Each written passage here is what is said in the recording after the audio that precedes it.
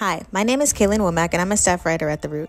This weekend, I'm taking you to Tuskegee, Alabama to explore the story of a horrid medical experiment on this episode of Small Town Horrors. In 1932, 600 black men were enrolled in a study by doctors from the U.S. Public Health Service who were looking for a cure for syphilis, a contagious venereal disease that ran rapid in the black community. The people who participated were mainly sharecroppers, and most haven't been to a doctor before. However, they were misled into believing they'd receive free medical care in exchange for handing over their bodies for science, and were also told they were just being treated for bad blood.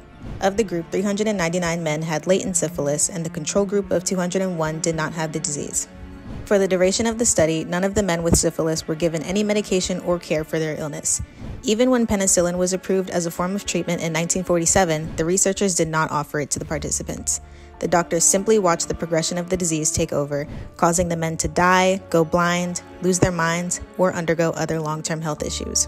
By the 1960s, a PHS investigator named Peter Buxton learned of the study and suggested a committee be formed to review the autopsies and the study's findings. Buxton found that 28 people died from the disease, 100 died from complications related to the disease, 40 spouses had been infected with it, and 19 children inherited the disease from birth.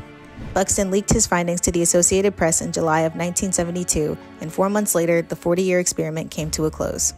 A lawsuit representing the families affected by the study ended in a $9 million settlement and free medical services from the government as promised when they first signed up. President Clinton gave an apology to the surviving participants and families of the deceased in 1996. Tune in next weekend to see what small town horror we visit next at theroot.com.